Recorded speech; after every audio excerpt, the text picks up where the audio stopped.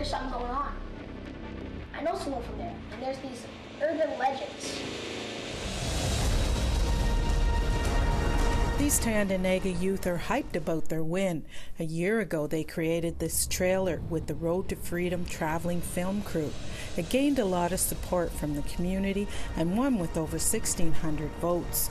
Jonas McCourt said he was shocked. When he told us there's like 30 other communities, I was gonna say I was a little nervous.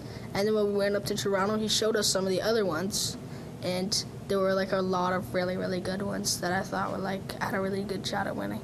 For the past 10 years, the Road to Freedom crew has traveled to First Nations across the country, inspiring youth to try out every area of filmmaking. According to Kyle Nobess, it's the first horror film festival the Road to Freedom has organized, and it's been a huge hit.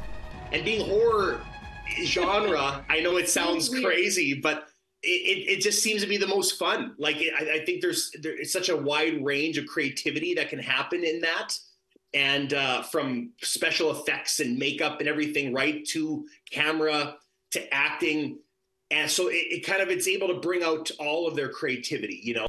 12 year old Naya Snyder played one of the witches in The Girl in the White Dress. Snyder says all aspects of the two day workshop were fun. What we did really was like when we were making my costume we had to like go outside and like burn little like holes and stuff into the dress and like get it all dirty.